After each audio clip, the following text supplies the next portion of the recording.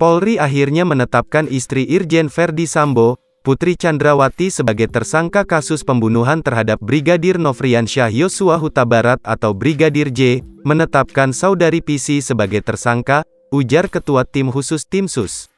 Polri, Komjen Pol Agung Budi Marioto, yang juga Inspektur Pengawasan Umum, Irwasum, saat jumpa pers di Bareskrim Polri, Jumat, tanggal 19 Agustus tahun 2022. Putri Chandrawati ditetapkan sebagai tersangka setelah dilakukan pemeriksaan oleh pihak penyidik Bareskrim Polri.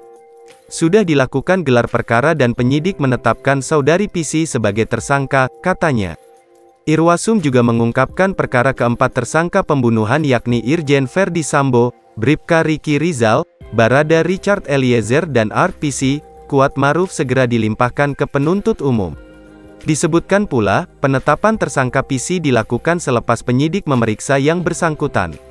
Seperti halnya dengan keempat tersangka awal, penyidik menjerat PC dengan pasal 340 subsidiar pasal 338 Jo pasal 55 sampai 56 KUHP.